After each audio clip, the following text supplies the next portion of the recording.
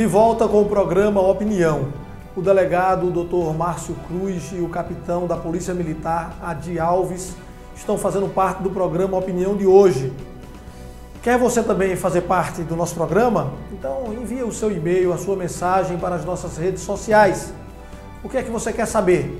Manda para a gente um tema. Nós queremos também conhecer aqui a sua opinião. Olha, mulher é sequestrada e obrigada a ensinar o ladrão a dirigir o seu próprio veículo. Veja só.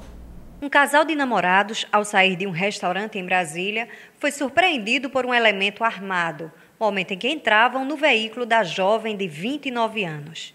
O bandido entrou no veículo e abordou a garota, deixando o namorado para trás. Durante a fuga, a vítima teve que ensinar o elemento a dirigir o veículo, pois o mesmo não sabia conduzir o carro que era automático. Além de todo constrangimento e momentos de terror, o elemento pediu para que a jovem retirasse a parte de baixo de sua roupa, começando assim a acariciá-la. E afirmou que logo mais à frente iria parar em um matagal para fazerem sexo. Na ocasião, houve uma perseguição da polícia militar que conseguiu abordar o veículo. Assustada, a jovem não quis dar depoimento e o elemento, chorando, alegou que não queria que nada tivesse acontecido e que nunca tinha feito isso antes. Engraçado. Esse pessoal é sempre muito santo, ninguém faz nada, ninguém se meteu com nada. Eu lembro uma vez de uma cobertura policial que eu estava fazendo e ele estava ameaçando a vítima. Ele colocou o revólver, gritava e ameaçava. Mas na hora que ele foi preso, que os policiais militares estavam conduzindo ele, a primeira coisa que ele fez foi chorar, parecia uma criança chorando. E eu lembro que o policial olhou, olhou para a gente da imprensa, está vendo? Agora era o homem mais valente do mundo com a arma na mão. Olha agora, virou uma criança. É assim mesmo que acontece, né? É verdade. É, a, gente, a gente sempre se depara com, com essas situações. de Inclusive, hoje, que é uma coisa tão comum, menores de idade, né? Menores de idade, pessoas menores, rapazes de 12, 13, 14 anos que com a arma na mão se transforma num monstro. Mas quando ele é apreendido e, e fica é, desarmado, aí começa a chorar. Inclusive já vi situações de chamar até pela mãe. Ah, eu quero minha mãe e tal, nessa situação. E, Parece um. Ele lá dizendo, não fiz nada, não queria Não fazer nada. isso, essa foi a primeira vez. Sempre é a primeira vez, é um inocente. É um inocente, coitado. Agora, quantos delitos, doutor Márcio, tem, estão inclusos aí? Ele Ah, ué. abordou o veículo, né? depois levou alguém em sequestro, acho que seria mais ou menos isso, ainda ameaçou a vítima de morte e depois ainda aí, é, mandou ela tirar a roupa. Então teria outro delito aí também. né? Seria, seria na verdade aí são, é, um- é uma figura típica que foi é, recentemente incluída no, no nosso Código Penal, que é o roubo com restrição à liberdade da vítima, que é o sequestro relâmpago. Na época da onda dos sequestros relâmpagos no Rio de Janeiro e São Paulo, não havia uma tipificação para esse, esse, esse, Essa modalidade de essa crime. modalidade de crime pra, e, e se utilizava os crimes um pouco mais leves. Então eles queriam agravar um pouco a pena né, pela gravidade da circunstância, então foi criada essa, essa figura típica aí, né, o, o- o roubo com restrição à liberdade da vítima, que é o sequestro relâmpago, que ele responderia por esse crime. Se for comprovado o ato libidinoso, né, aí seria o estupro, se ele acariciou a vítima, de alguma forma constrangeu, né, nessa, nessa, durante esse, esse, esse trajeto aí, enquanto ele pilotava o veículo, se ele acariciou, apalpou as partes aí íntimas da vítima, aí se configura aí um estupro.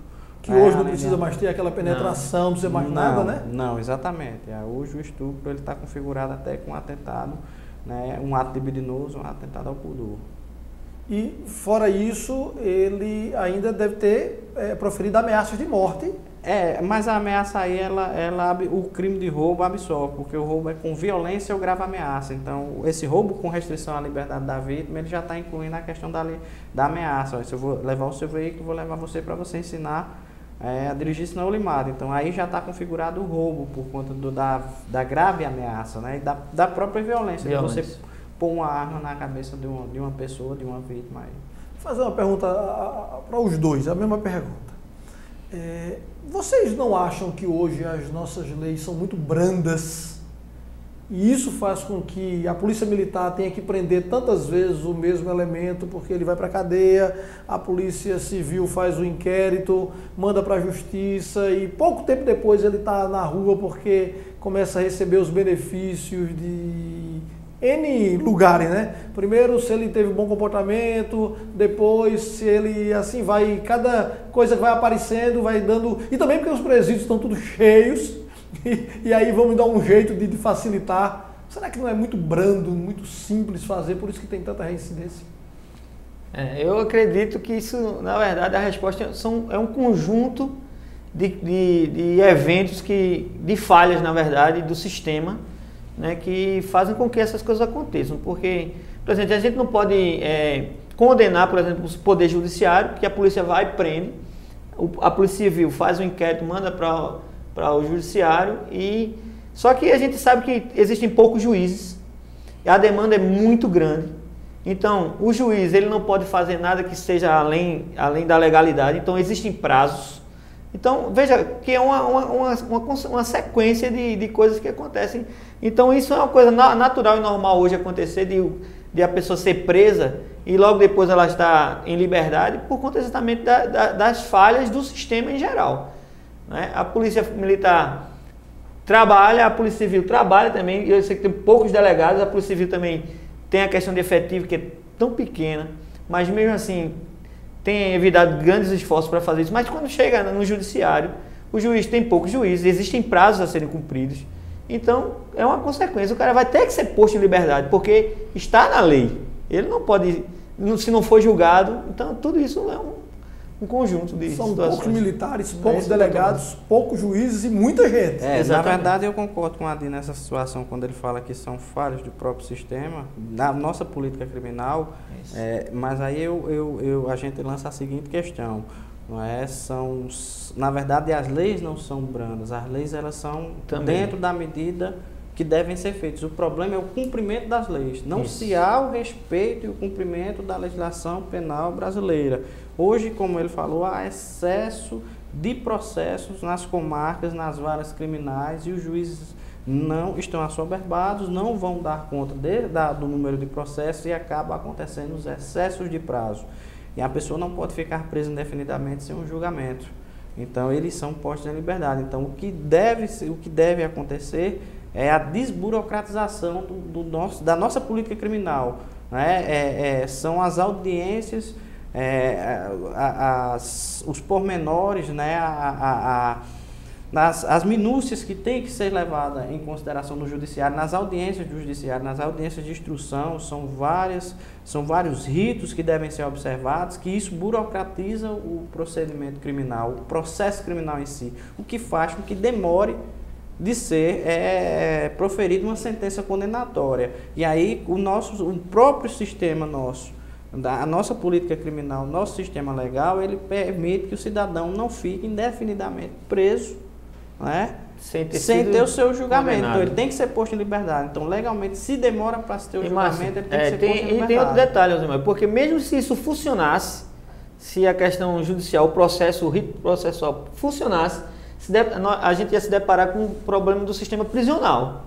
Porque imagine, se todo mundo que a gente prendesse fosse para a cadeia, não ia ter lugar para a gente colocar esse, esse, pessoal todo, né? É Teria, muita gente. É muita, gente. gente. É muita gente. Porque todo dia a Polícia Militar prende gente. E são, são poucos. E, e veja só o é. que eu vou dizer aqui também.